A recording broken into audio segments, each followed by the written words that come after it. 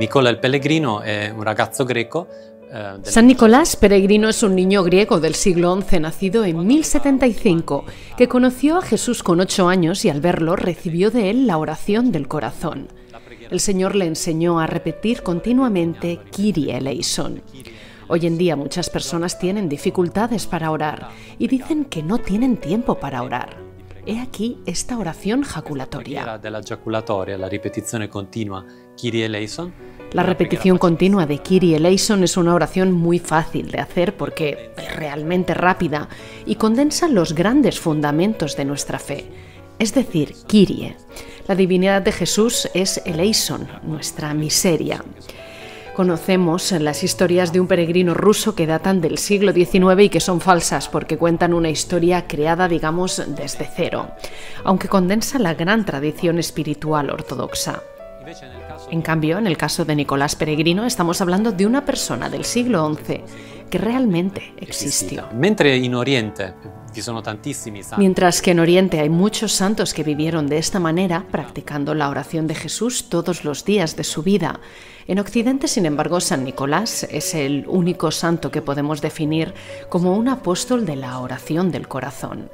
Esta experiencia profunda, aunque pequeña, lo marcó y lo llevó por todas partes de Grecia y luego quiso llevarla también a Europa. anche eh, in Europa.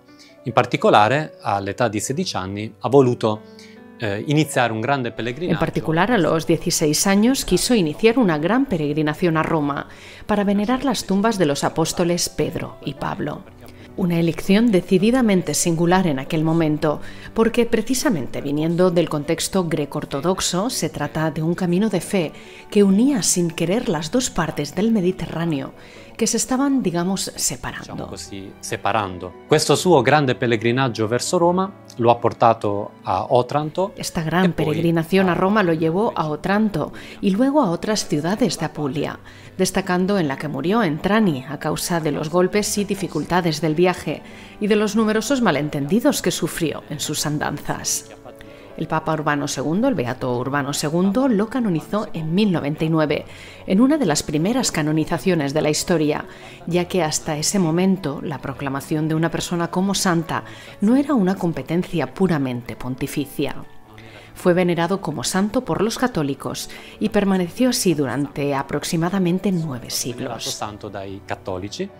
ed è rimasto tale per circa nove secoli. Nel 2023 gli ortodossi En 2023, los greco-ortodoxos de Italia, de la metrópoli griega de Italia, lo incluyeron en su calendario litúrgico, por tanto también lo admitieron en el culto de los fieles ortodoxos griegos. Es uno de los pocos santos venerados por católicos y ortodoxos después del cisma de 1054.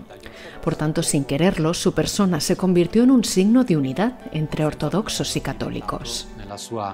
eh, persona un, un- un segno di unità tra ortodossi e, e cattolici. San Nicola era eh, un, un laico. San Nicolás era un laico que murió a los 18 años, por lo que tiene muchos elementos de originalidad en su interior. Y su testimonio también tiene mucho que decir a los peregrinos que hoy llegan a Tierra Santa. Según fuentes antiguas, los peregrinos que en la Edad Media se embarcaban desde Apulia para llegar a Tierra Santa lo invocaban durante el viaje, pero también porque su estilo de peregrinación es también muy indicativo para quienes hoy vienen aquí a Jerusalén, a Tierra Santa. La sua percezione del cammino Su era percepción del camino era la oportunidad de caminar a cada paso y a cada latido con el Señor, pensando siempre en Él y convirtiéndose a Él en cada momento de la vida.